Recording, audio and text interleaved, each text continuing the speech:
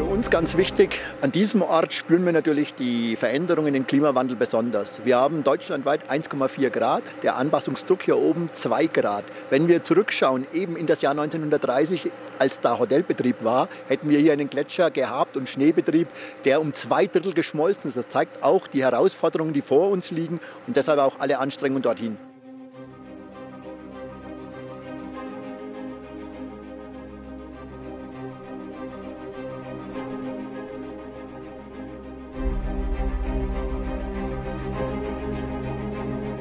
Unsere Forschungsstation Schneefernerhaus ist das Klimathermometer in Europa und in der internationalen Zusammenarbeit sind wir hier gut aufgestellt. Das bedeutet aber auch, dass wir die richtigen Schlüsse in die richtige Umsetzung bringen müssen.